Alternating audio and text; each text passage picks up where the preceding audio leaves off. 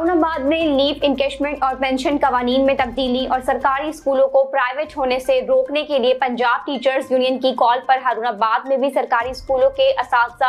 और सरकारी इदारों के मुलाजमीन का मुश्तर एहतजाज जारी। पंजाब हुकूमत की तरफ़ से पेंशन और लीव इंकेशमेंट के कवानीन में तब्दीली और सरकारी स्कूलों को प्राइवेट होने से रोकने के लिए हारूनाबाद के सरकारी स्कूलों और कॉलेज के इस की तरफ़ से एहतजाजी रैली निकाली गई, जिसमें सरकारी स्कूलों कॉलेज के साजा और दूसरे सरकारी इदारों के मुलाजमीन ने भरपूर शिरकत की। रैली में शरीक साज और मुलाजमीन ने हाथों में प्ले कार्ड उठा रखे थे। कि कल गिरफ़्तार होने वाले गीगा के नुमाइंदों की रिहाई और सरकारी स्कूलों को प्राइवेट होने से रोकने के लिए बल्दिया के सब्जाजार में एहतजाज किया।